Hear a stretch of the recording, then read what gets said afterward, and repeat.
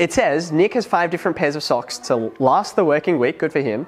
They're scattered loose in his drawer because, um, I don't know, he's, he's messy and disorganized. Good for him. Each morning he gets up before light and chooses two socks at random. Find the probability that. Okay, so here's my question to you first. Um, was it one of those cases where you had some answers and you're like, doesn't match? Or were you like, I don't even know where to begin with a question like this? I think I had like some sort of answer. Mm-hmm. Yeah, that's okay. So what I'm going to do is, um, even though it's like, oh, you know, we're in we're in year 11 and 12, right? We should be beyond this, right?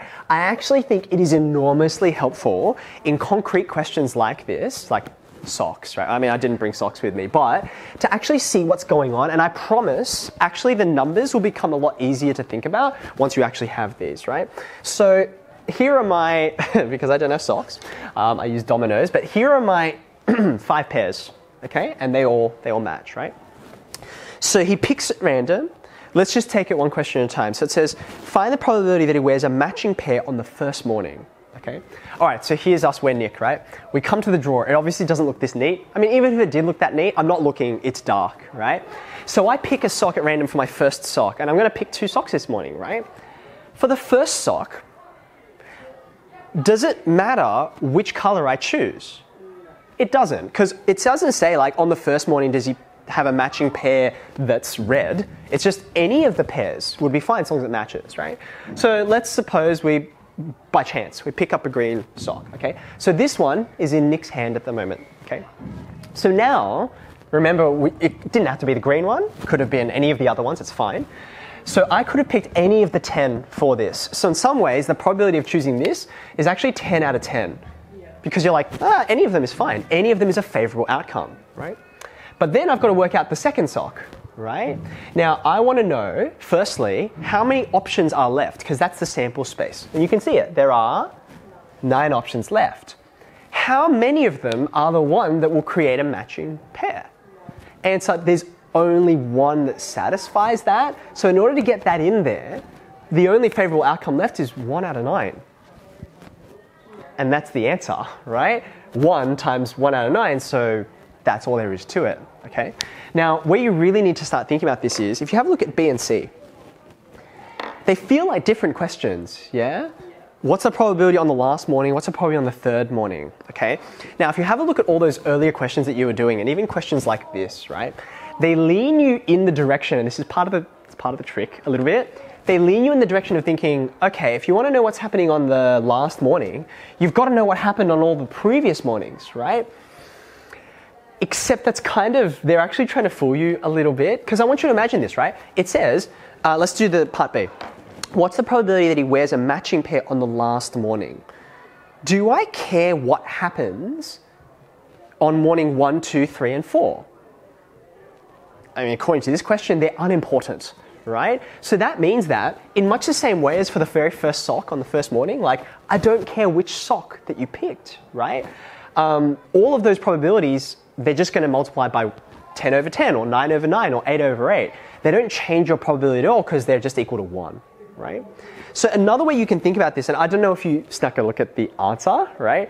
But what you can do is you can say, well, you know how I said, oh, let's make this your first morning's socks, right? There's no reason why I can't say, for some reason, Nick decided to go and actually pick out all his socks for the whole week on that first morning. And he decided, you know what, this is going to be the last morning's pair of socks. And he picked it out, and this is what happened. These were the probabilities. So, just because it's the first morning, or the second morning, or the third morning, if I don't care what happens for the other mornings, this is the same probability for him getting a matching pair on the last morning. And it's the same probability for him getting a matching pair on the third morning. Because imagine you and I walked in and we saw Nick pick out a pair of socks and we said, hey, don't wear that today, wear it on Wednesday. It's like, okay, whatever. The, prob- the numbers haven't changed, have they? Like the socks haven't changed, all calculations are identical. So actually, this is your answer for part A and for part B and for part C. That's it. One over nine. They're all the same. Okay? All right. Part D though, this is where things do change, right? So this is the probability of matching socks um, for one morning. Yep, equals that. Okay. So now when I think about matching socks for two mornings, now can you see when I come back on Tuesday or Wednesday or whichever day, right? I actually do care what happened the previous morning. I need both of them to be true. So the way that I would actually write this out in my working years, it's the probability of, it's lunch one, right? Cool. It's the probability of one morning and then I'm going to use some of the notation that we'll use in the other question, if we, if we get to it, right? Um, I need to multiply by the probability of the second morning. And then, have you seen this vertical bar before in some of those? Do you know what it means? Do you know what the, because I can tell you if you. Yeah, yeah, yeah. Yeah, so sometimes you'll see this, right? You'll see this notation. What it means is, what's the probability of A occurring if you know that B has occurred, right? So for example, I could say to you, um, it's, a, it's a wet, miserable day today, right? And I could say, what's the probability of rain today, right? Well, the probability of rain, if I pick a random day in the year, is different to if I say, what's the probability of, like, um, my family's from Malaysia, right? And there's a monsoon season, right? Now, during monsoon season, if I told you um, Doris, it's monsoon season right now. What do you think is the chance it's going to be raining? You'd be like, it's 100% because it's monsoon season. It just rains non-stop every day for weeks, right? So that is the probability of rain, given that I know it's monsoon season, is different to just the probability of rain because there's times when it doesn't rain, right? So in this case, I want to say, what's the probability that I get the matching pair again if I know that I got it on the first morning? And then I have to multiply those two together because I want them both to happen. I want the first morning and I want the second morning, okay? Now we actually already know the first morning. It's one out of nine. That's what we just worked out, okay? Now I have to work out what happens the next day, okay? So here's the situation the next day. I know it looks like this because on the first morning I took out two identical socks, right? So now I'm going to pick out, I guess you could say it's sock number three, yeah?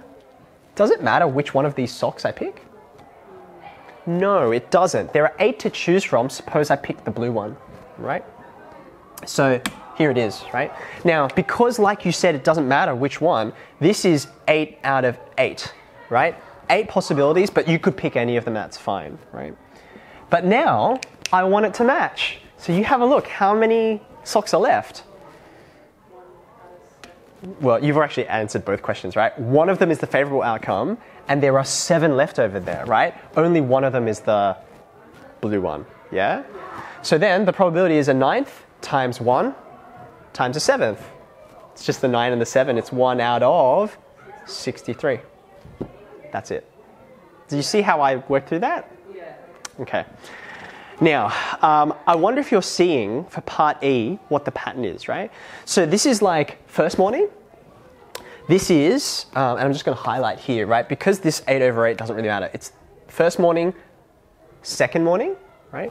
What would you guess happens on the third morning?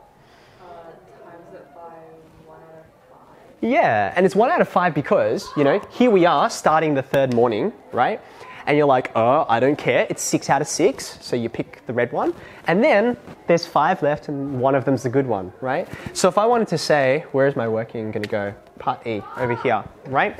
The probability is going to be, in the first instance, there's the first morning. There is the second one, which we just did, right?